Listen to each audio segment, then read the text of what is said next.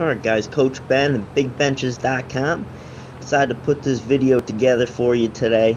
This is actually a full bench warm-up video for you. So we got about 13 minutes of recording here. And I'm just kind of taking you through what I do to get ready to bench. Uh, you can see here what I'm doing is just going through my core 4 stretching routine. I'll start with some hip flexor stretches there. Real important also to warm up your lower body uh, not just your upper body when benching, or else you'll end up having a hard time getting your feet out in position on the bench, or you'll start cramping. Because when you bench full body, when it's not just an upper body press anymore, you're really starting to bench and you're getting your legs involved. Um, those legs really take a beating.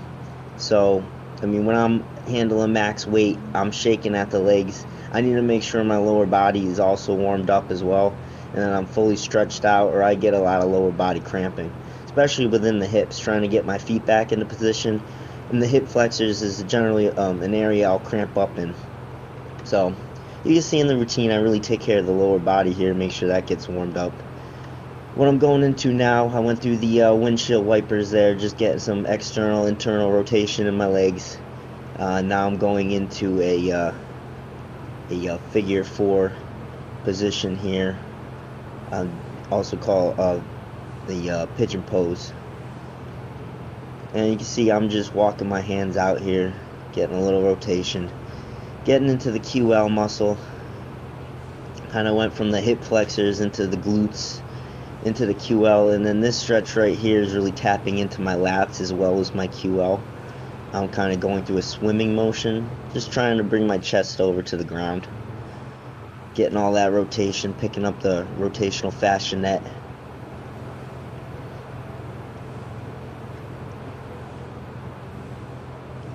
then I'll go through a few more stretches that I add on to my core 4 routine here. This is for the lower back.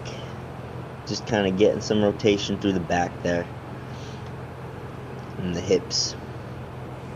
And what I'm doing here I'm just kind of bringing my leg across as well as um, trying to keep my shoulders planted on the ground. Here I'm getting into the glute max. All you do cross the leg over your knee there and then just push up towards your chest and this is a favorite of mine. This is getting into more glute medius uh, adductors here. So I have that same position and then I just kind of walk my foot out. And then as you can see I drop that other leg over. And that's a great stretch when you get that one down. Alright so that completes the stretching portion of what I do. Um, don't really get into too many upper body stretches, mostly just setting the shoulders into position and doing some activation work, warming up.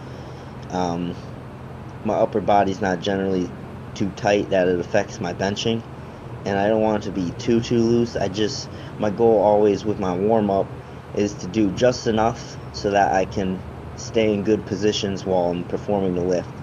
So, for example, in squatting, I'm not trying to loosen up so much that I uh, can hit too much depth. I just want to hit the depth required by the rules of powerlifting and get back up. So I'm not trying to go super ass to grass. I don't want to be too loose. I want to keep that tightness to me. So right here what I did, I threw the little cross ball under my glutes. I'm just doing some myofascial release here. You see me fishing around for different spots. When I find tightness, I just kind of breathe into it. Crossing one leg over just to get a stretch in the glutes and here I'm positioning the roller right onto my hips there. And this is a favorite of mine. I'm just kind of rotating those hips right over that roller. This is something that really helps my cramping issue on the bench. See I'm just positioning that roller. And just getting that rotation getting into the hip flexors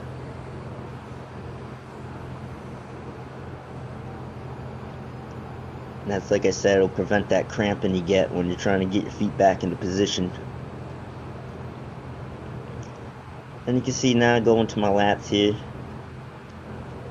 Hands behind the head. Keeping that roller on my lats and then just adding some rotation, getting into the rhomboids.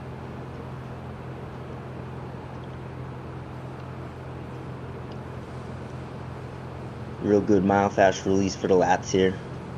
All you need is a roller. Roller hits the area very well. Then I'm kind of right underneath my scapula. I don't really want to be on my scapula. You could find a nice sweet spot right underneath.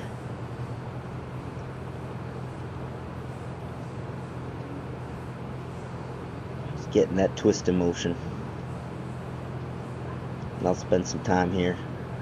I'm just showing you one side of the body, so this isn't too long of a video. So I'm just working on one side of the video here. Then I'll go into some neck myofascial release. Real important for benching just because your neck's in a very uh, precarious position tucked back on the bench there, especially when you get a nice setup. I can get a real tight neck if I don't do this, and uh, from a result of benching, just because your neck's such a, in a craned position. So real important to take care of the neck, get it done with stretching, or uh, you can do this myofascial release here. This is kind of a combo. I'll pack down tissue. I got that ball into my traps right now and I'll pack down that tissue and then I'll kind of manually grab my head you'll see and I kind of stretch it out myself. Keeping that ball pinned up on the wall. It's important to find a corner of a wall so that you leave your uh, head some space to, to move. That way you can get to the traps effectively. Can't really do this on a flat wall and kind of just get behind the neck. Then I'll get into some pecs here see. I'm just finding a good spot to position that ball kind of where you get the insertion of the uh, pec muscles into the shoulder joint. Kind of finding that tender area there and just spending some time working through that. With myofascial release on the pecs they kind of just take my time and fan through the area. So if I find a tight spot I'll stay on there for a while but I'm mostly just kind of fanning through the area mostly just getting blood flow in that that area. Myofascial release real good as well, um, just to get some blood flow going in the area here.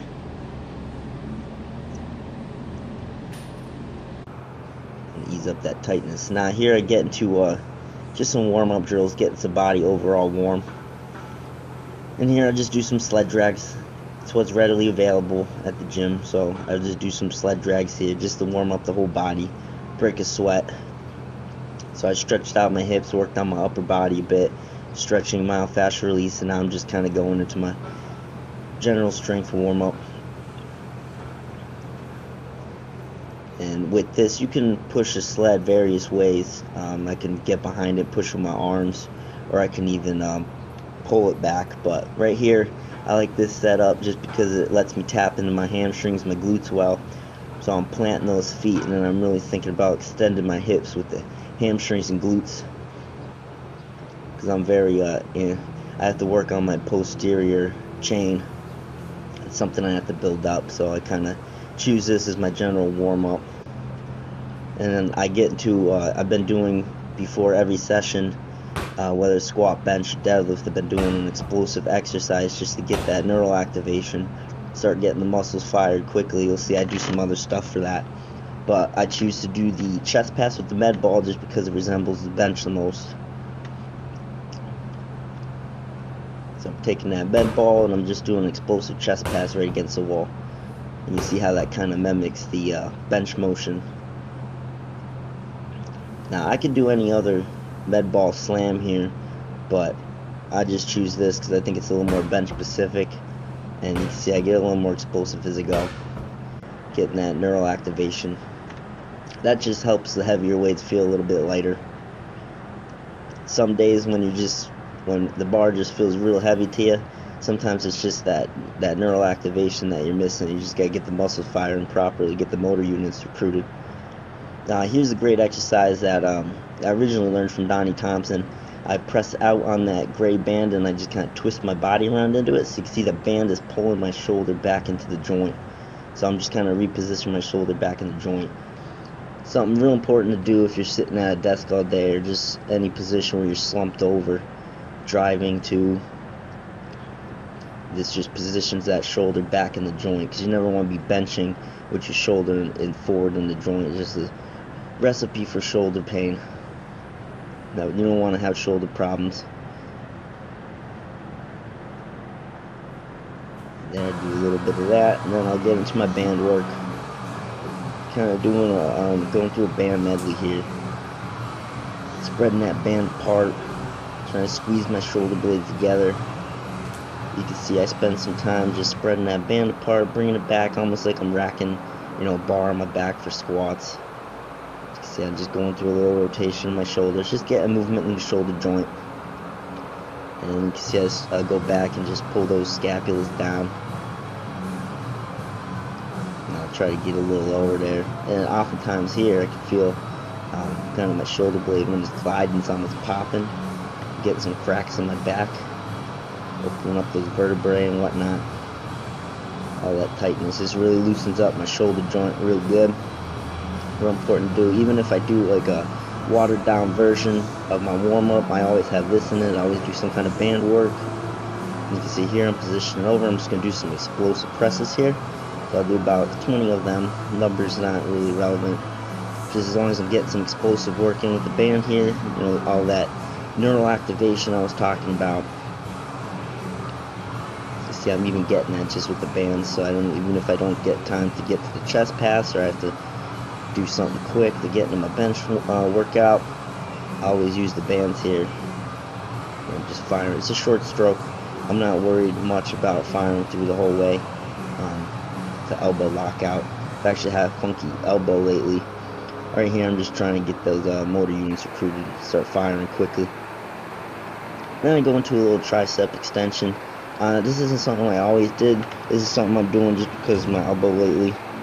I was feeling a little funky, so I've been feeling better doing some tricep extensions. Uh, just getting some blood flow in that area. And you can see I'll turn my hands down a little bit at the end and kind of push out. That's kind of that, that bench position that I'm trying to uh, work through. That's been giving me some problems. And just getting blood flow in that area, kind of pumping up the area before my workout black band's good enough. I don't want something too heavy. This is very light. I usually pound out about 40 of these, no problem. Higher reps get good blood flow in the area, get a good pump. So this is just, I'm just showing you a beginning portion of my bench warm up. Of course, I take warm-up weights and my working weight that day. But I'll just take the bar here and um, just a light setup. All I'll do is kind of pack my shoulders here. You'll see I can keep my feet up. And just some explosive work with the bar. So getting some more explosive work going. So you can see I got three different exercises here where I'm getting explosive work in. Got the chest passes, the bands, and then I'll just take the bar and pound that out. Those motor units recruited. Start firing quick. And then I'll go right into uh, my normal setup here. And I'll take the bar. And I always tell people I'm driving so hard with my legs here that I can I can only probably get like three reps in before I'm totally off the bench. And you'll see that here. Um, that will conclude the video for you. Hope you enjoyed watching that. Make sure you're warming up on bench is very important um, to avoid those injuries. Make sure you're checking out bigbenches.com. Subscribe to the YouTube channel. I'll see you next video.